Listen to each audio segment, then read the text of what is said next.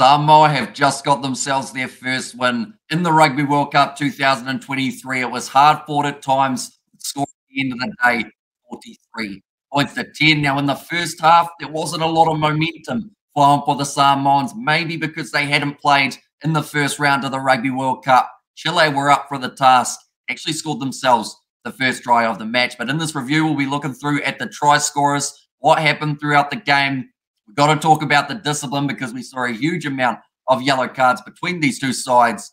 Yeah, overall, what we think of this game and what these two sides need to do moving forward. But the try scorers, the first one, like I mentioned, it was actually Matthias Dittus, the number three for Chile. He managed to score himself the try in the sixth minute. And that now means that Chile, in both their games between Samoa and Japan, they have been able to score the first try on the board. So they'll be hoping to continue that trend as this World Cup does wear on. That was the only try that we saw from the Chileans. Also, we saw Garafulich was able to get a penalty kick over in the 30th minute for Samoa. They started relatively slow. They weren't able to find their momentum and find those tries that they would have been after. They took three early kicks for Christian Leali'ifano from penalties, which then gave them the nine points. The tries right at the end of the first half, we saw the first. It was Duncan Paia'aua. Then in the second half, the Samoans came out firing. Jonathan Taumateine scoring in the 42nd minute, Fritz Lee in the 47th, and then Sama Malolo in the 52nd,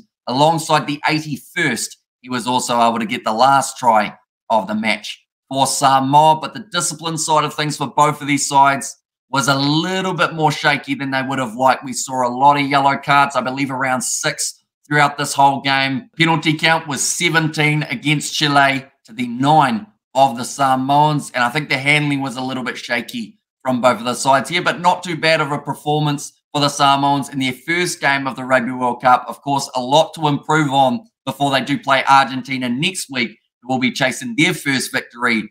But they were able to walk away with the five points available. They also go just that little bit higher above Japan in the overall standings, which does mean, as we currently sit, Samoa, after playing the one game, are top of Pool D. We saw some decent running meters made by the Samoans in this game, 410 compared to the 316 of Chile. But Chile were able to beat more defenders.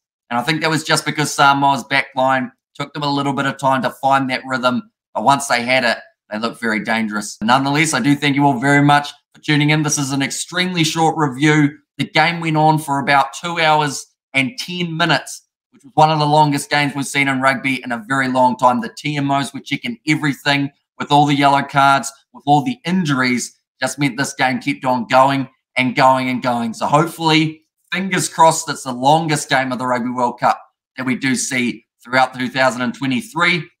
Yeah, hopefully, a couple more entertaining games just around the corner as well. But thank you all very much for tuning in. If you did enjoy this short review, be sure to leave a like and subscribe. Be sure to join us for the next live stream that we have got, which is Wales versus Portugal, followed by Ireland versus Tonga. But thank you all very much for tuning in. I will see you all for the next one.